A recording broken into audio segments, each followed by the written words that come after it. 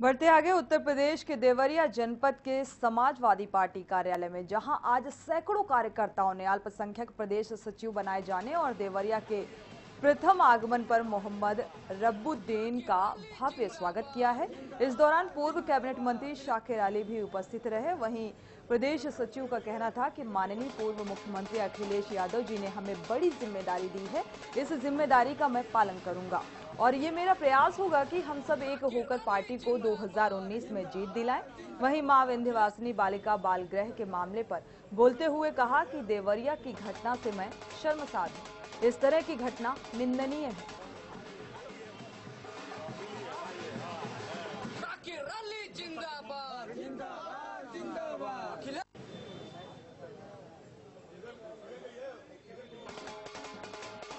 की घटना से तो मैं बहुत शर्मसार हूँ।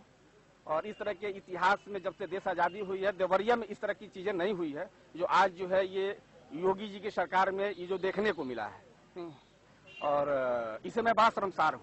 इस पर हमसे न कुछ बुलवाएँ तो ज़्यादा अच्छा है।